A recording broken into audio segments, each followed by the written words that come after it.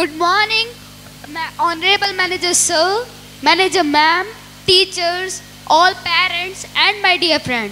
My name is Ayush Shukla. Today we are going to learn about the circulatory system. The main function of the circulatory system is carried through the blood to the cells of our body. It is formed by the heart and T's and veins. They would be equivalent of two, almost two or half laps of the earth. It is incredible, right?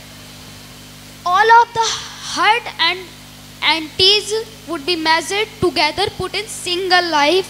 They would can be done the carry through the travels around the body with its one lakh pulsation per day. It ensures that the blood circulate to the to the uh, and uh, ensures that the blood through unit of our body to distribute the oxygen the nutrient of our cells thank you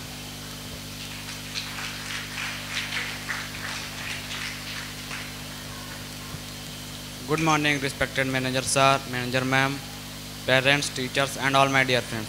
My name is Aman Goswami. I study in class 8. My topic name is circulatory system.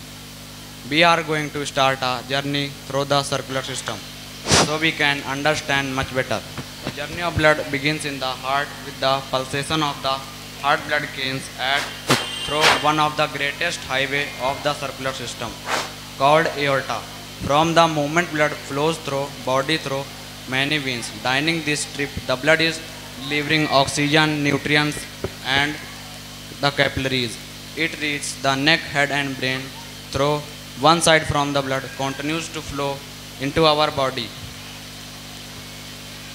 The through body through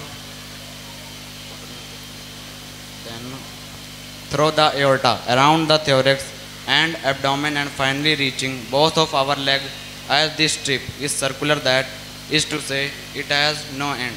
Thank you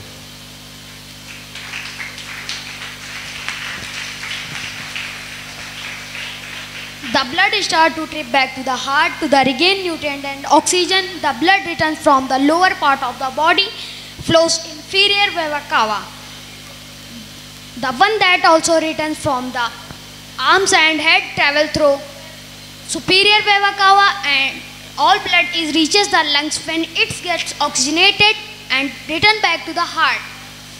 Then its journey start again. To the truth is incredible blood is permanently traveling inside our body. Thank you